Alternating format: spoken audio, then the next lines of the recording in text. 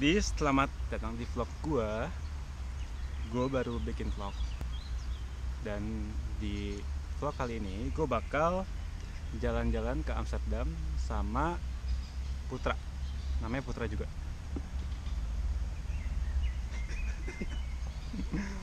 Terus dia sekarang tuh gue udah di Belanda. Tapi gue belum di Amsterdam, gue masih di Nijmegen. Itu tuh setengah jam dari kota gue dari Kleve terus dari situ tuh jadi tuh tadi tuh gue dari Kleve gue naik bis bis biasa ke Nijmegen dan Nijmegen gue bakal naik bis umum. Bis umum ya? Kayak Prima Jasa Damri. Shuttle shuttle. Iya semacam itu pokoknya bis yang gituan. Ke Amsterdam. Dan itu cuma 7 euro. 7 euro berapa? 7 euro tuh Nggak sekitar nyampe 80 ribu nyampe deh nyampe 85 ribuan ya? 120 ribu. Enggak. Pokoknya sekitar segitu. 7 euro kali 15 ntar apa yang bakal terjadi di Amsterdam kita lihat aja di vlog apa selanjutnya yang bakal terjadi di Amsterdam? Lihat aja ntar. Kita bakal ngapain di Amsterdam? Bakal happy happy. Betul betul. Oke bakal seru-seruan deh di Amsterdam. Ikutin aja terus ya jadi kita bentar lagi jalan ke Amsterdam. Ini bisnya udah jalan. Udah nyala maksudnya. Apa? terus ya bentar lagi jalan. Perjalanan kita tiga jam. Perjalanan kita sekitar tiga jam. Terus ya, gitulah kira-kira. Aku pakai headset dulu ya. Jadi ikutin aja ntar ya perjalanan ikutin ke Amsterdam ikutin aja. Thank you. Ikutin terus. Kenapa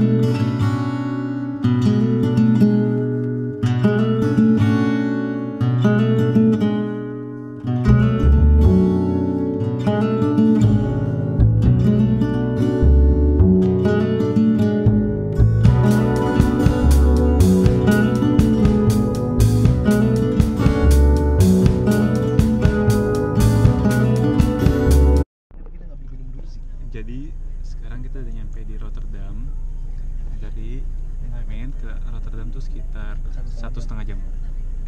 capek ya bud capek gue ngomong mulu satu setengah jam. Sama lu kira-kira gini lah Rotterdam. Bagus sih Rotterdam tuh kotanya eh artsy banget gitu. Arsitektur abis. Karena kan dulu Rotterdam tuh pas perang dunia kedua mereka Mana?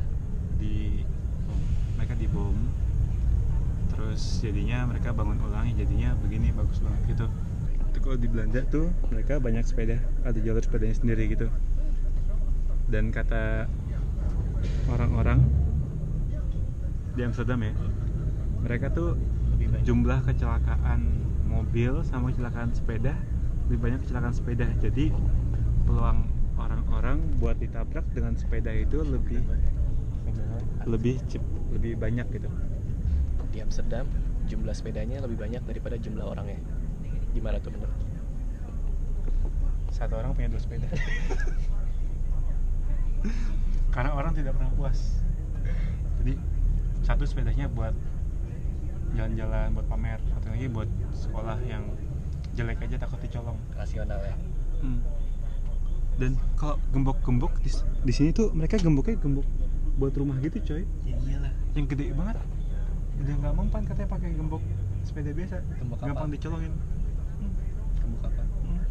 Kapal pakai jangkar. kapan lagi Hmm. Ah, sekarang kita baru sampai di baru sampai di Amsterdam Rotterdam. Terus kita lagi mau ke hostel. Kita sekarang lagi nunggu Uber. Karena Masih kita ada wifi lagi terlalu malas buat make karena kita generasi manja angkutan umum karena kita hari ini akan ke mana-mana jadi kalau misalnya kita beli tiket eh, harian untuk angkutan umum tuh terlalu boros buat kita karena kita anaknya irit banget. Ergonomis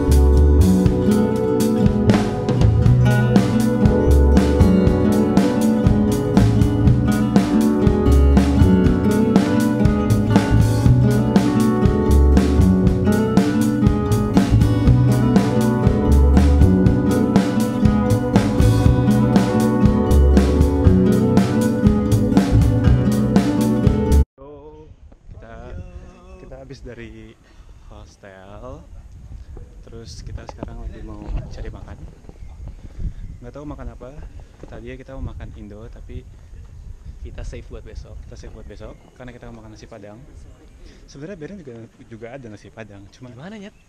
Nusan Aso. Emang ada ya? ada bar baru Belum. nggak baru sih terus yaudah kita sekarang mau ke sentrum itu gue jago jalan-jalan ya Sip.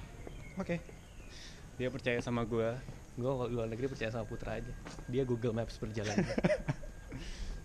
Oke Google, jalan.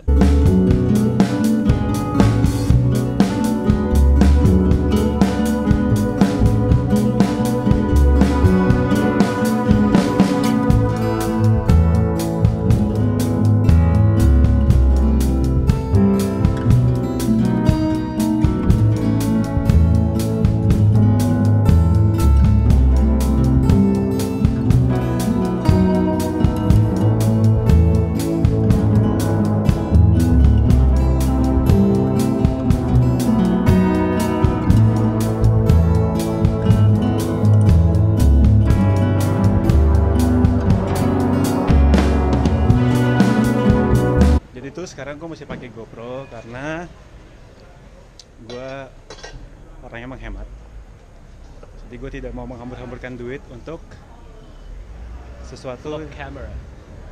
yang baker belum pasti akan saya tekuni apa tutup coy di Belanda tuh Karena toko-toko tutup jadi gue belanja. Kalau buka oh, gue iya. mau. pinter juga lo Shit. jadi sekarang kita 30 menit, cuy. Di Namki namanya restoran Cina gitu. Makan nasi bebek. Sama tadi kita makan oyster tapi nggak kita videoin. Ada di kalau Instagram mau lihat iya. Enggak sih di snapchat gua. Kita makan dulu ya. Yuk jadi kita habis jalan-jalan dari Red Light District. Astagfirullah. sama makan. Terus tadi videonya harus mati tiba-tiba karena pas gue lewat red light district ketahuan sama ceweknya. Jadi harus Sama matiin mbak-mbak karena di sana kita nggak boleh foto-foto atau ngerekam video. Waduh. Waduh. Apaan sih? Marah-marah apa Gedor ya. iya. Tuh. langsung gue simpen. Boy. Kalau misalnya lu di F1 nih lu sekarang juara tiga lu ngebalap yang juara dua lu jadi juara berapa? Juara satu. goblok juara dua lah Kenapa? dari tiga lu ngebalap yang dua